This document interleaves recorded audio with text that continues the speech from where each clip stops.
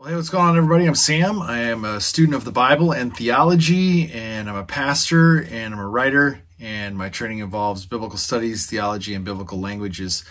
Uh, we're going to jump back into James chapter 1. Yesterday, we um, talked about the authorship, the background information, historical context, some of the critical scholarship, some of the rebuttal to the critical scholarship. We talked about um, what's kind of going on there. Um, and so we're going to jump, and we just used James chapter 1 um, verse 1 to kind of set up where we're going. Um, today I just want to go verses 2 to 4, okay?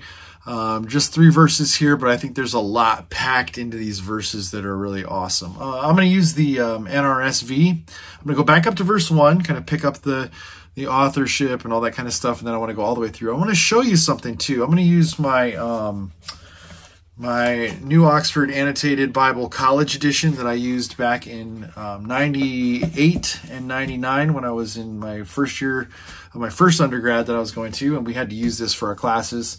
Um, and this is the, uh, so this is like, was done in 1994 is when this um, version of the New Oxford Annotated Bible was done um, for college students, so it was cheaper, that kind of stuff. There's been four more editions since then, or three more editions, I guess. We're on the fifth one now. I have that one in my office, so I didn't have that one available. But um, my point is, what I want to show you is that um, when you you make decisions based upon the data points that you're seeing, it kind of you kind of then have to then make other decisions. Okay, so I want to show you what I mean by that.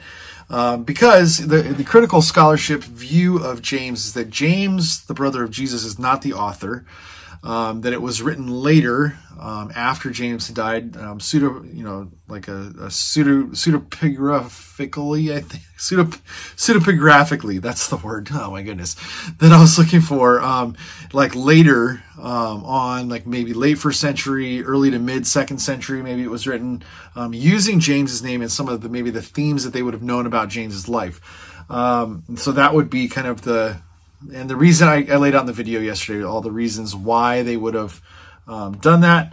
But um, what I'm, I found interesting was that that is maybe you know when this was done in 1994, uh, Bruce Metzger and his team were the ones who laid this one out in 94. Um, that may have been the dominating scholarly view of the book of James. Sorry.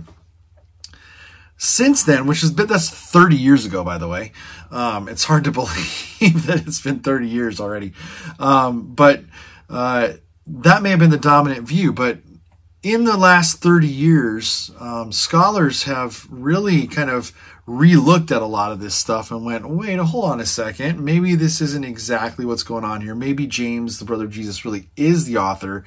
Maybe it is earlier. Maybe that's really talking about something else than what, you know. And so I'm going to show you what. Okay, so um, James chapter 1, verse 1 says, James, a servant of God and of the Lord Jesus Christ, to the 12 tribes in the dispersion, capital D, greetings. Um, now, the, the, dispersion with a capital D is more than likely referencing this whole idea of the, the diaspora or the, the um, Jews being taken out of their land and kind of dwelling outside of the land, outside of Jerusalem, all that kind of stuff. And that was a hundreds and hundreds of year kind of thing going on. You can look that up and you, I mean, I read paper after paper after paper about the diaspora, um, both in undergrad, graduate level, and just recently, past couple um, of days.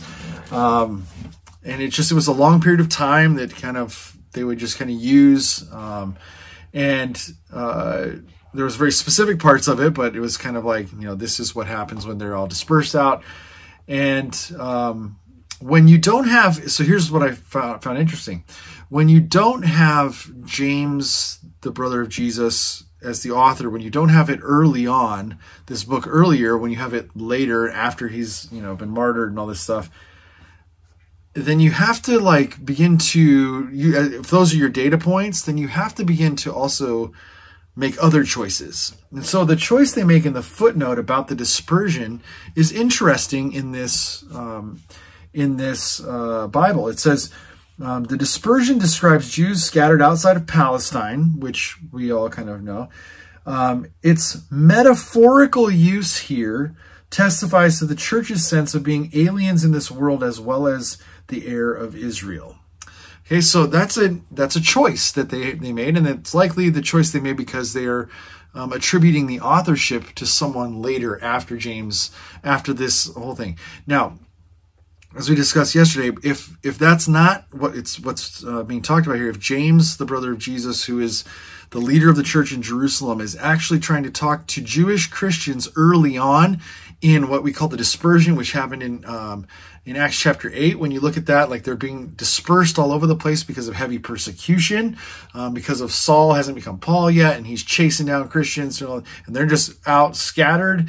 And then you have like maybe this book of James written earlier on, anywhere between like 48 to 51, 52, somewhere around there. Um, then some of this stuff actually begins to make a little more sense. And you don't have to metaphorically use this idea of dispersion.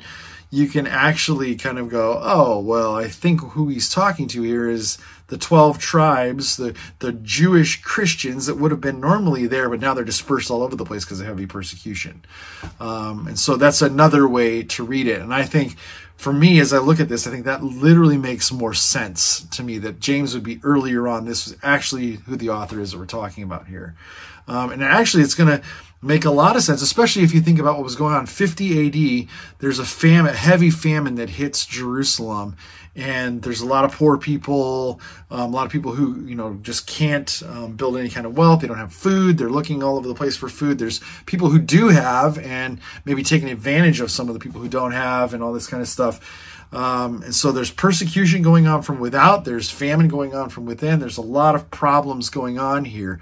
And so all of a sudden, with that as like a backdrop, James writes to these people. He calls them his brothers and sisters. And so this is what it says in the NRSV. And then we're going to jump to the Greek because I think there's some really interesting and great stuff going on in the Greek here. It says, My brothers and sisters, whenever you face trials of any kind, consider it nothing but joy, because you know that the testing of your faith produces endurance.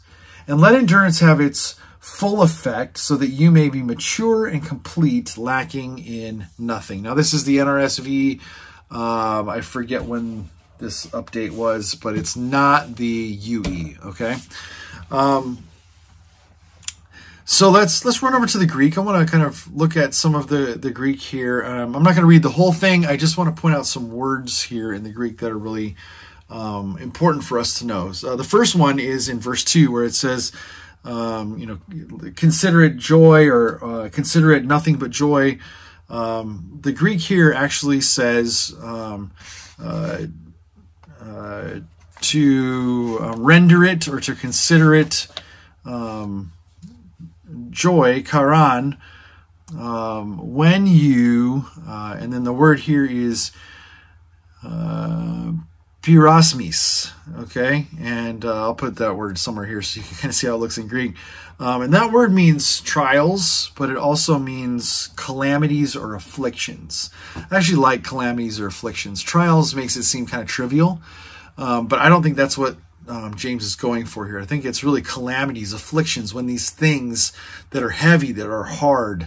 Um, and then it says uh, when when they peri. Uh, uh, which means that you you fall into them or they happen to you know it happens to you. Um, these are not consequences of you making bad choices and bad decisions. That's not why the bad stuff's happening to you. This is just like when stuff happens, when calamities and afflictions just you fall into them, or when they they fall on you. When this stuff happens, um, and then it says. Um, uh, pikilis, okay, and that word means various or different kinds. When all any kind of these different kinds of calamities or afflictions that you just you fall into, that just things happen in life when they when they fall on you. James says, I want you in the midst of that to consider it pure joy. Now, uh, here's what James is not saying. James is not saying, I want you to be happy about what you're going through. I want you to be happy about the fact that um, life is hard right now. I want you to be happy about this really tough situation that all of a sudden feels like it fell on you or that you fell into. You didn't do anything to deserve it. It just happens. Like it's not fair that it happened. It just happens. Um, and he's like, I don't want. It's not. It's not that you should be happy about that. But uh, as we look at the outcome of this, we should be joyful about what is going to what's what the result of this thing is going to be in our growth. That's what James is trying to get at here. He's trying to say, listen, the reason we should consider it um, nothing but joy is because something good is going to grow in us because of it. Um, and so he says, uh, you know, going on, he says, uh, because you know, because we know that um, the the testing or the trying of your faith produces, and then he uses the word upomonen, which means um, endurance, perseverance, or patience. Okay, uh, that's a very important Greek word, upomone, and we're going to talk about that in a second. Okay, it comes from the the Greek word upomone, um, and it, that actually breaks down into couple other words that actually help us understand what this word means. Okay. Uh, then you go into the next the next verse. It says, "And let endurance um, work. Uh, let it uh, have its perfect work." Uh, that you may be perfect and uh, finished or complete, and in nothing fall short. Uh, and so, when we look at this whole idea of um, endurance, I think this is at these these verses two, three, and four. There's this major theme about when you go through different calamities or afflictions, or they fall on you, or you fall into them. Um, one of the things that we need to allow to work is perseverance and, and endurance here. Okay, so um, in the Greek language, there's actually two words that we use for this idea of uh, perseverance, endurance, patience. Um, it's translated forbearance sometimes in the NIV. It's translated um, long suffering in the King James um, at different times. There's two different words for the this concept. Um, there's the word that James uses here, upomone, um, and then there's the word macrothumia. Okay, and uh, is like when we use the in Galatians five, the fruit of the spirit is love, joy, peace, patience, or forbearance. NIV NIV says um, that's the word macrothumia. And in fact, James uses hupomone here, or upomone here. Hupomone is the Erasmus. Um, upomone here, but he uses um, macrothumia later in chapter 5. And when we get to chapter 5, you'll see how um, he's going to use both word pictures here and both words to kind of take us down a different path to help us understand these different kinds of endurance and perseverance and patience. Okay, but what are, the, what are these two words? What's the word picture that surrounds them? Okay, so upomone um, comes from two Greek words mashed together into one. Okay, so uh, the word upo, which means under or underneath, and then mone, which means to to stay or to stand or to stand up or to abide in. And when Jesus says in John 15, "Abide in me," um, he uses the word mone, and it, or a, form of the word mone, and uh, it means to to abide, to stand, to stay in. Um, and so this idea, this kind of word picture that upomone um, kind of conveys is this idea of standing up underneath or staying underneath or abiding underneath. And it's this idea of there's this weight that's on your shoulders and that um, if we're going to uh, endure it, if we're going to persevere through it, we need to stand up underneath it, stay underneath it.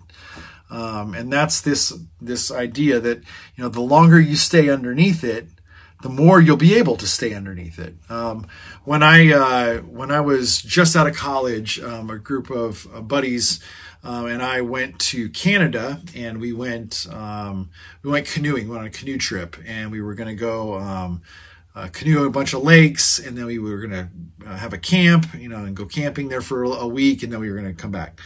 Um, and so we would canoe the lakes together, and then there were these um, trails that we had to stop and we had to go that connected the lakes and we would have to portage our canoes all the way across um, to the other side to the other lake. Some of those were really long. Um, sometimes if they're you know the canoe is big enough it would take two people to portage it. They have these yokes that go across and you put them on your shoulders and walk. Um, and uh, for the most part though for us it was just one. Um, one yoke one you know one person per canoe and it was my turn to portage one of them. And it was a pretty long portage. And so I, I put it up on my shoulders and I started carrying it. I've never done this before in my life. And it was heavier than I thought it was going to be. And I was like, oh my goodness. And I, I remember I was like tipping it back like this. And I was, I was trying to rest it because it was hurting my neck. It was really heavy. And one of my buddies was like, hey, don't do that. And I said, why not? He goes, because it's going to make it even worse. It's going to make it heavier. What you need to do is you need to stay up in the middle underneath it underneath the weight distributed and just let the weight sit on your shoulders and carry it that way. And so I did, and it was hard. It hurt. It was really heavy. Uh, but you know what was fascinating about it? We we did all the portaging. We you know we camped that whole week, and then as we were coming back, it felt lighter. It felt easier to do. And the reason was because I was used to it. I knew what I was doing now because I had stayed up underneath the weight for long enough, and now my body was used to staying up underneath that weight. And I think that's the, the word picture that Upamone really, you know, wants to draw for us is that when we stay up underneath it and we allow that to kind of work and we allow that staying up underneath the weight to work, that we become more resilient, we become more, we become stronger, we become you know perfected completed you know whatever because we will won't lack anything because we'll be will be, it'll something will be working in us to make us stronger because of staying up underneath the weight. That's this word picture of upamone.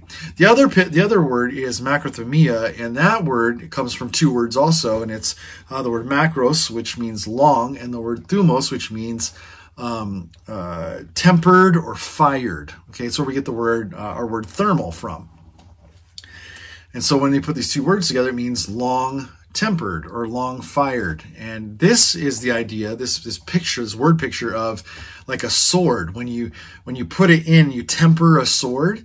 The tempering process is there to, to you know to, to get all the uh, impurities out of the sword. Um, so it can be um, more uh, it can be more flexible actually um, that's what this tempering process does. And I remember watching my, my son, my older son, um, he loves Japanese culture. He loves swords. He's got tons of them. He loves that kind of stuff. And we used to watch this show called Forged in Fire. And uh, I learned about this whole tempering process by watching this show. They would put it in the fire and they would temper, you know, then the longer they tempered it, the more impurities came out. And the more impurities came out, the less brittle the sword or the knife or whatever it was was because um, it was tempered well, and so it wouldn't break, it wouldn't crack on impact and that kind of stuff. It would bend and it wouldn't break. And so that's what long tempering something does. It, it helps, the tempering process helps the metal to be less brittle. Well, if you think about that from this this vantage point um, of like, okay, so uh, this idea of long uh, tempered, um, you know, as it relates to endurance and patience, macrothumia, like it's this idea of the longer I allow myself in the heat, in the fire, the more tempered I'll become, the less brittle I will be because of it, and the more I'll be able to bend and not break when I run up into things. Okay, so that's a different kind of word picture than staying up underneath the weight of something so that my, you know, I can be stronger so that the, you know, the, the more this weight comes on, the, the easier it is to handle because now I'm strong enough to handle it. Right. And so this picture that James is trying to draw here of, you know, these calamities or these afflictions that we fall into or that fall on us of various different kinds, we should, we should consider the process of upomone joy. That's the the joy is the endurance that we build because of it, not because it happened to us, not because we're going through it. And I got to tell you, I, think I shared this before. My uh, a couple years ago, my daughter went through some pretty significant health scare um, issues, and it was one of the hardest things our family ever went through. It was one of the hardest things I ever went through. And I got to tell you, I wasn't sitting in that in the hospital going, you know what? I'm considering this joy. Um, I can look back now after the fact and go, wow, um, I've grown a lot and I'm more resilient now and I'm stronger because I didn't run out or run away from it and I didn't kind of let it break me, but I was able to like just stay in it and go, okay, I don't know why this is happening and it really sucks that it's happening, but um, I think uh, I'm going to allow this to make me more, uh, allow, allow this to work on me and I got to. I'm I'm a I'm a stronger person because of going through it. It sucks that we had to go through it. There's I mean there's no ifs ands or buts about that. And anybody else who goes through it, I'm never gonna look them in the eye and go, you know what, God's using this to build you and just test you, and, and you know something good is gonna come out of it. Like I would never say that to somebody else. Um, what I would say is that. Um, you know, this is terrible. This is awful. Uh, this is not fair. You got to go through this. Um, and it, it really it stinks that this is something that we have to go through or that you have to go through. Um, and I would wait till the back end to see what was going on, you know, afterwards. And, you know, hindsight is always the time where you can talk about upomone, where you can say, wow, but look how, how we've grown now. Look how strong we are now because of um, what we were, what we went through. Um, and it's, it's something that I think James is trying to point to that the joy is not in the midst of having to go through it. The joy isn't the thing. The joy isn't the circumstance. The joy is when we go through it and we build endurance, we can look back with joy and going, you know what? I'm, I'm a different person today. Um, and maybe a stronger person today because of having to go through something like that. I think that's what James is trying to get at here with the, with these people, and they're dispersed and they're being persecuted, and this famine's going on. And he's like, he's like, you know, um, as you go through this, um, it's going to build strengthen strengthen you build character in you. It's going to build your faith up. It's either this is either going to do one or two things to you. Anytime we go through trials calamities afflictions that fall on us like one or two things is going to happen to our faith. It's either going to break our faith or it's going to build our faith. And james is trying to lean in and say let it build your faith let let the endurance do its perfect work in you so that it builds your faith so you'll be complete and you won't be lacking anything. And I think that's the point of what he's trying to say here. And he's going to go on in verse 5 to say, yeah, and if if you're trying to figure out how how to make this work, there's something you can ask God for that um, He wants to supply for you. Okay, but we'll get to that in the next video. Um, so yeah, we'll just stop there and we'll jump in uh, verse five in the next video. Thanks for hanging out with me. Uh, like and subscribe, and I'll see you in the next video.